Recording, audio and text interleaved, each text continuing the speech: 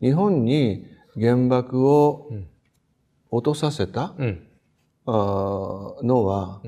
トルーマンだけではないんですよ。うんなるほど。イギリスとね、うん。うんあのアメリカがどのようにその共同開発だったということですね。いうことをね、あのしっかり抑えていかないと、そのチャーチルに対する見方というのがね、あのあまりこう正確なものにならなくなってきますよね。案外ねルーズベルトに対する批判よりも、ん。あのチャーチル批判の方がイギリスではこう、あ案外スムースにね、いく状況があるのかなとは思います。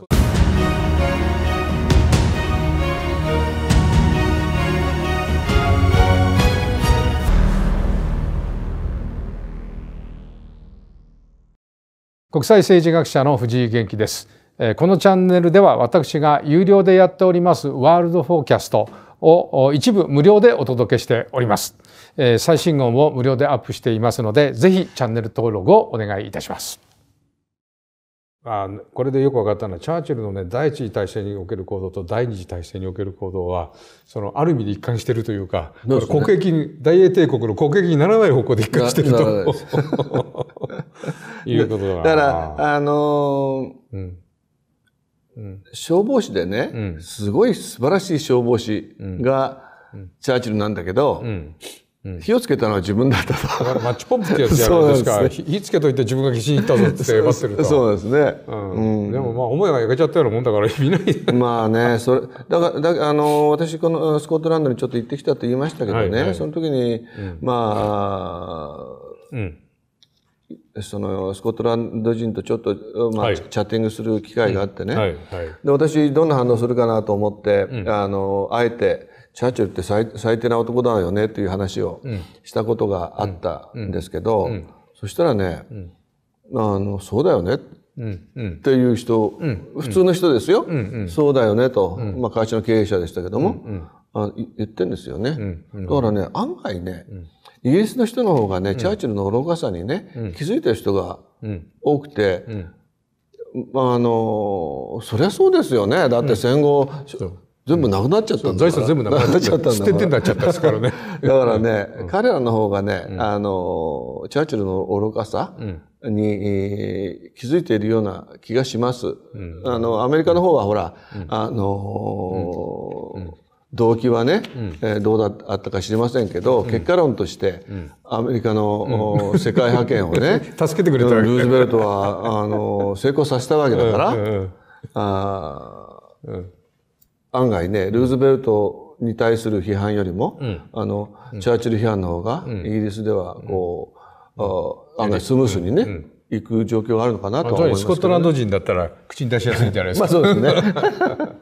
らね、あのーこのウェデマイヤーの回顧録読んでるとね、これはせあの戦争の専門家でしょ？軍人だからね、面白いこと書いてるのはね、チャーチル批判でね、そういうチャーチル批判もあるんだけども、あの戦争のやり方が下手だと。うんうん。で、チャーチルってやつは本当の戦争のやり方を知らない。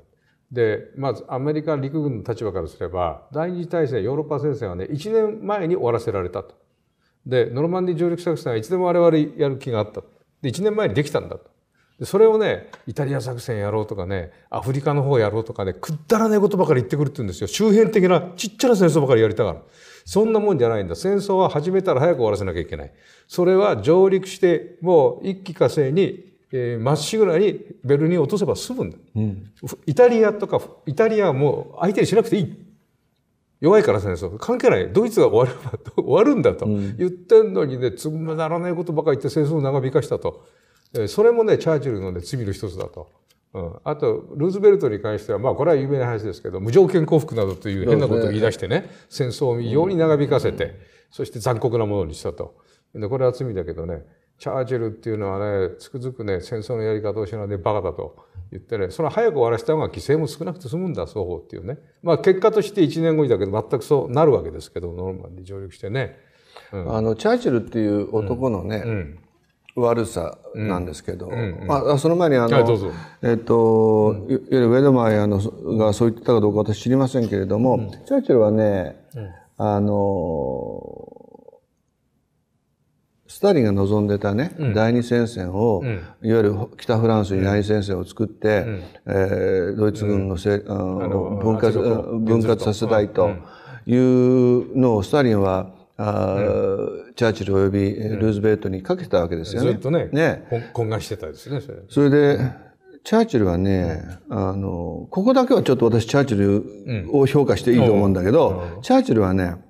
あの、地中海からね、バルカン半島に向けて解放軍を、送るべきだということは言ってたことは間違いないので、そこはちょっと評価してあげたいなと思うんですよ。でそれよりねあのそれとカサブランカですよね、カサブランカ会談で無条件降伏を突然ルーズベルトが言い出すわけなんだけれども彼黙っちゃってるんですよ、チャーチルは。そんなことを交渉してないんですよ。全然事前に言ってなかった。言ってないんですよ。突然言い始めたと言われてね、突然言い始めてね、うん、その南北戦争、アメリカ南北戦争の時にね、うん、あの、うん、誰でしたっけ？あの将軍、うんグラント将軍がね、グラント将軍が南北戦争でね、無条件降伏をさせたと、これもいい加減な話なんだけども、あの、それで思いつきでね、えー、ドイツ、日本には、無条件降伏をさせると。いうことを言うわけですよね。うん。うん、これ、あの、スターリンも聞いてない話でね。うん。うん、でその時にチャーチルはなんで、うん、うん、まあ、あの、いや、無条件降伏ではなくて、うん、あの、いわゆる交渉の上でのね、え外交交渉での決着もあり得るみたいなことは、彼は言える立場だったの。にもかかわらず、何も言わずに、その、無条件降伏、突然の無条件降伏を、追認したわけですよ。これもね、大きな罪だと思います。そうですね。それとね、あともう一つ、まあ日本であまり言われてないこと、チャーチルの罪なんですけど、え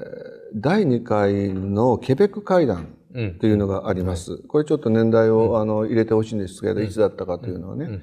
私その現場にもホテルにも行ってきたんだけども、そこにはあのそこに、えー、ルーズベルトとね、うん、えー、カナダの首相マッケンジー・キングと、うん、それからチャーチルが来るんですけど、うん、その時にですね、うん、原爆のね、使用について話されたわけですよ。で、あのアロイチューブですね、うん、そのイギリスから見たあのマンハッタン計画っていうのは、はい、アロイチューブ計画と言うんですけど、うんうん、その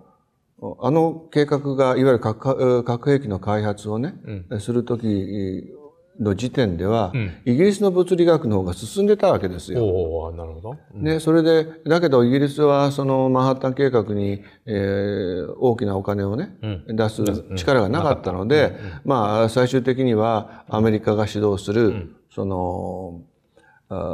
核兵器開発計画になるわけですけどね。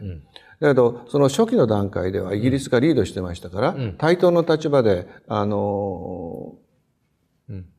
開発のね、条件がね、話し合われたわけです。うんうん、でその条件がいくつかありますけど、うんうん、その中の大事な一つがね、うんうん、あの、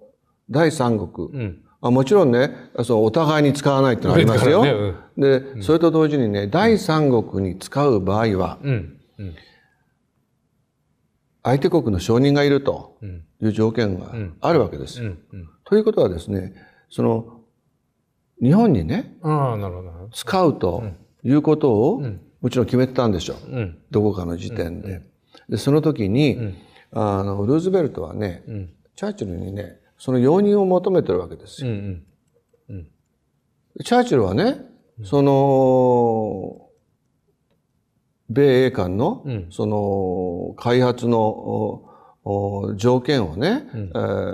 ー、条件から見れば、使うなという立場にいたんです。うんうんうんにもかかわらず、容認したわけでしょ、うんうん、でですからね日本に原爆を落とさせた、うん、あのは、うん、トルーマンだけではないんですよ。なるほど。うんうんだからチャーチルが拒否権を持ってた、ということはね、うんうん、日本人も知って置くべきだと。ね、これね。で、これね、うん、その、ボイスという雑誌ご存知だと思うんですけど、はいはい、このことについて私、コラムでね、うん、書いたんですよ。チャーチルと原爆というタイトルで。これね、あの、やはり読者のね、あの最初の反応っていうのはね、ポカンとしてるんです。なるほど。なんでチャーチルと原爆関係あるのと。それは今のでもあれはインパクトあったんじゃないですかあの議事は。あそうですか。いやいや私はあったと思いますけどね。私は大変ああそうだったのかと思って。さらにチャーチルが嫌いになりましたけど。ですからね、このねエピソード、エピソードというか、えそのイギリスとね、あのアメリカがどのようにその共同開発だったということですね。いうことをね、あのしっかり抑えていかないと、そのチャーチルに対する見方というのがね、あのあまりこう正確なものにならなくなってきますよね。そうですね。イギリスにチャーチルに拒否権があった。そういうことです。っていうことは広島長崎に同意したということですね。そうです。落とすことを言いますですからね、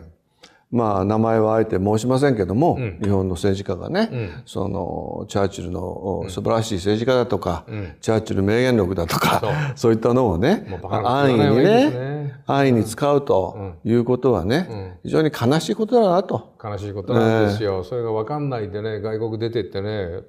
その英語国民に対してね私はチャーチル尊敬してるとかね言ってる。それは一部の人は喜ぶ人もいるでしょうけどね。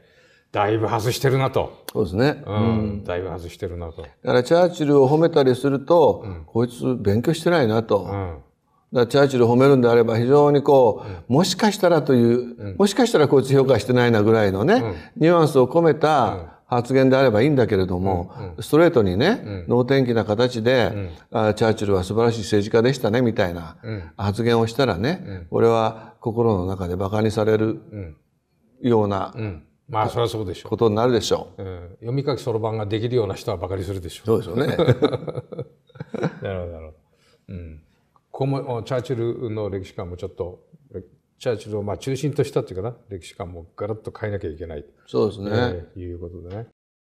えーご視聴ありがとうございました、えーぜひチャンネル登録をお願いいたします、えーコメントも大変励みになりますのでよろしくお願いします。それからもっともっと情報が欲しい人もっと見たいっていう人はあの有料の方のワールドフォーキャストをご覧ください。詳しくは概要欄に記載してございます